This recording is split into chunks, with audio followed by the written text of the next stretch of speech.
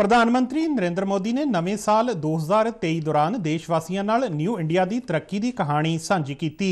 ਆਕਾਸ਼ਵਾਣੀ ਤੇ ਮਨ ਕੀ ਬਾਤ ਪ੍ਰੋਗਰਾਮ ਦੀ 97ਵੀਂ ਕੜੀ ਦੌਰਾਨ ਪ੍ਰਧਾਨ ਮੰਤਰੀ ਨੇ ਮੋਟੇ ਅਨਾਜ ਬਾਰੇ ਦੇਸ਼ ਦੇ ਵਿਜ਼ਨ ਦਾ ਜ਼ਿਕਰ ਕਰਦਿਆਂ ਦੱਸਿਆ ਕਿ ਸੰਯੁਕਤ ਰਾਸ਼ਟਰ ਮਹਾਸਭਾ ਵੱਲੋਂ ਭਾਰਤ ਦੇ ਇਸ ਸਾਲ ਨੂੰ ਮੋਟੇ ਅਨਾਜ ਦਾ ਕੌਮਾਂਤਰੀ ਵਰਾ ਐਲਾਨਣ ਦੇ ਮਤੇ ਨੂੰ ਪ੍ਰਵਾਨਗੀ ਦਿੱਤੀ ਹੈ।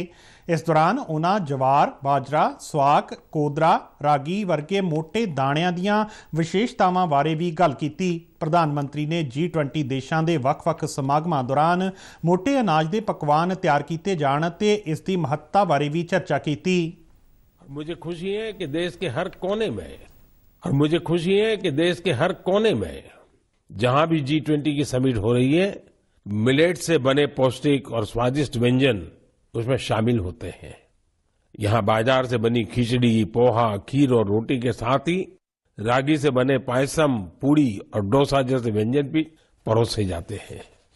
जी ट्वेंटी के सभी वेन्यूज पर मिलेट एग्जीबिशन में मिलेट से बनी हेल ड्रिंक सीरियल्स और नूडल्स को शोकेस किया गया। ਮਨ